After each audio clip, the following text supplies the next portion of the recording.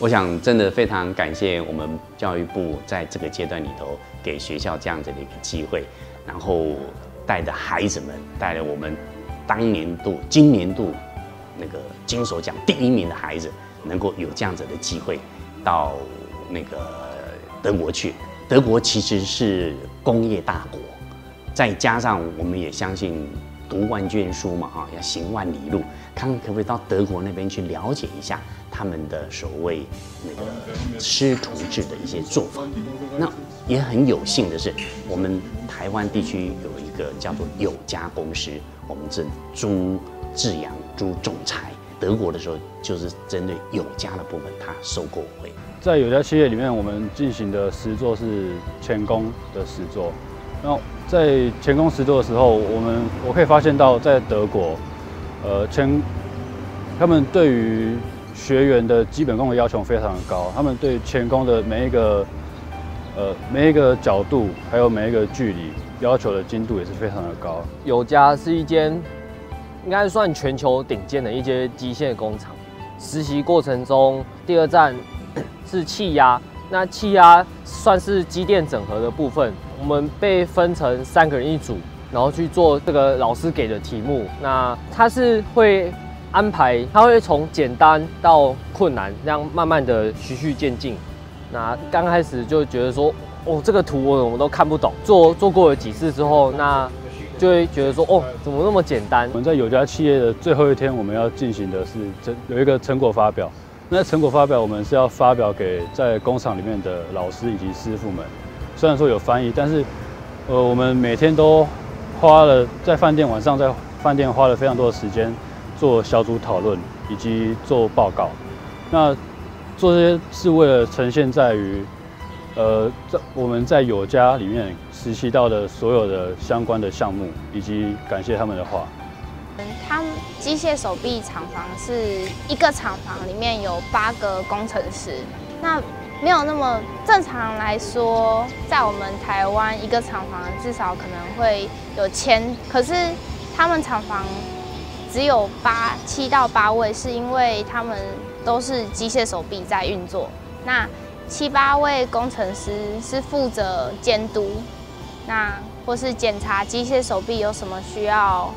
更改城市的地方，我们针对土木建筑的话，我们有额外的在设计的相关的路程。一个的话就是让他们去看那个所谓的那个古城的设计，很多的古迹都是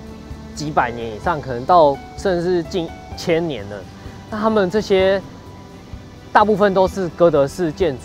然后他们都使用最基本的材料，像是岩石、木头和砖造，差不多就这样子。这他们可以甚至可以盖到几百公尺，那这项技术是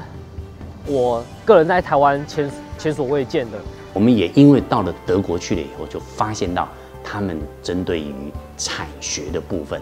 哎，的确跟我们国内里面目前所看到的一些现象，我们也去做了一些比较，那也给孩子们在这个阶段的也有一些的学习。摩斯巴哈大学主要是它主要是技职教育。他会先应征工作，你工作上了之后才可以去读这个大学。他是三个月在公司实习，三个月在学校上课。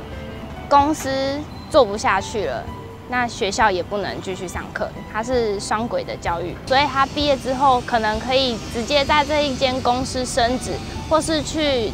或是转到更好的公司。一些我们自己土木的设计、公安。都有很大的见见识，那他们对于公安的重视啊，相较于台湾这样子的比较起来，是非常有很大的不同。也不是说台湾有什么不好，台湾也是有很多很好的地方是在德国没有的。那我们要选择它，我们要采纳它的优点，然后来补足自己的缺点，这样子。因为我是学，我是负责画图设计东西。那如果我学了电，或是学工业设计，我可以把它们结合。对，有因为有着不同样的专业，所以在参观到不同的东西的时候，都会去互相的去分享交流这样子。这趟